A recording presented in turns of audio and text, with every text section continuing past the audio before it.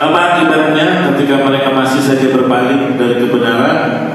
Padahal sudah datang petunjuk-petunjuk yang jelas dan gamblang.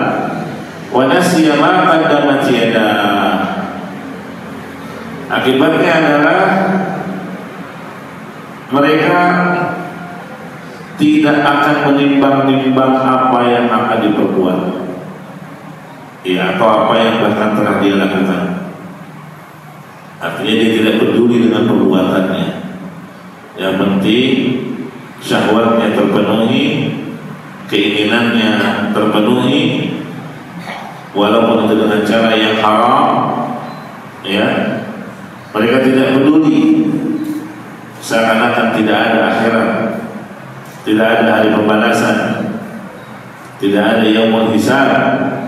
Akhirnya sering kita ingatkan bahwa keimanan kepada hari akhir itu memberikan pengaruh terhadap perilaku seseorang di dunia ini.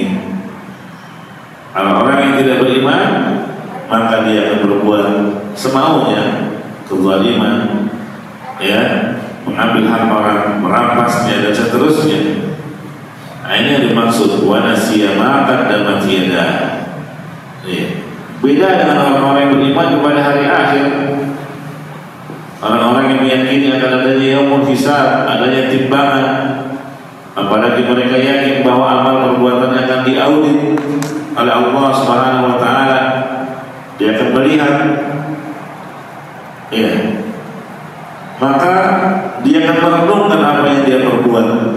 Apakah perbuatannya ini termasuk amal saleh atau bukan? Apakah perbuatannya ini akan menguntungkan dia di akhirat atau akan mencelakakan dan merugikan atau bahkan membinasakannya? Nah itulah orang yang cerdas. Dia akan menimbang-nimbang sebelum melakukan satu perbuatan. Iya.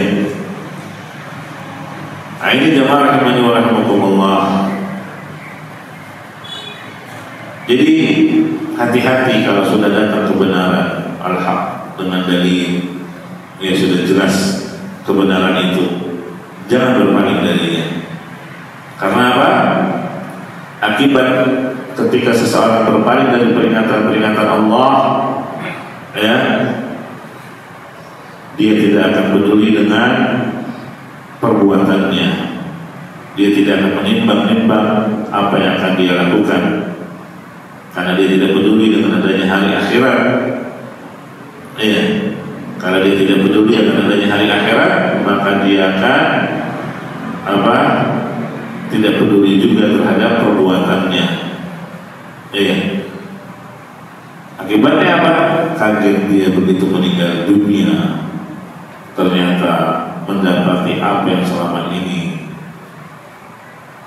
diterangkan kepadanya berupa ancaman. Iya. هذا صراط مستقيم